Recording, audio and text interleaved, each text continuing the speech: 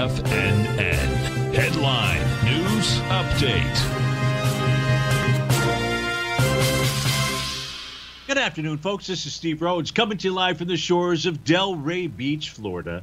This is your 2 p.m. update, and currently we've got a bit of a mixed bag out here, and that is the Dow trading higher by 141, the S&P higher by 16, the Nasdaq higher by 45. The Russell 2000 is down four points. That's less than two tenths of percent. Semis are up 30. The trannies, what a big move today, although well off their highs, are up 935 bucks. They're trading out at uh, about 16,870. Gold is off 750 right now. Silver down two and three quarters percent, or two and three tenths percent, down 56 pennies, trading out at 23.50. Let's go spend some time and take a look at our uh, indice charts out here.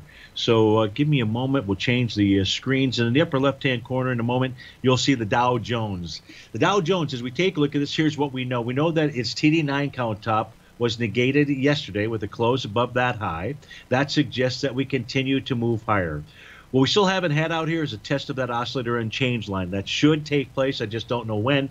And without a topping signal, we can't really make that call just yet. There is no topping signal today. Bar number four of a TD9 count. No topping signal in the S&P 500 today will become bar number five. It negated its TD9 count pattern last Friday. That suggests a strong momentum move to the upside. It too needs to test or should test its oscillator and change line, but not until we get a topping signal will we be able to really make that call.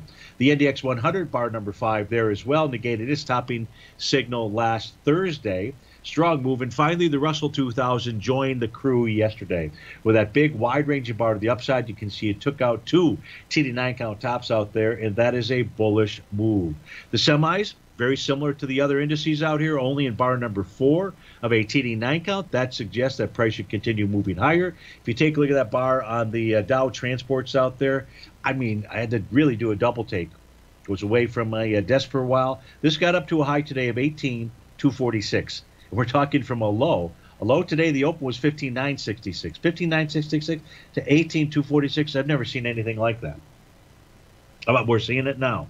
Uh, hey, one thing is for certain, although it's given up a lot of its gains, I don't have any kind of bearish signal out here. Uh, spot politics well below its 50-day exponential moving average. That puts the wind at the sails of the uh, bulls out there. And uh, so that's what we've got. Folks, stay tuned. Your favorite polar bear, David White with the Power Trading Hour. He'll be up next. Tom O'Brien will take us on home. I'll see you back here tomorrow, 1 o'clock sharp. Have a terrific Tuesday, folks.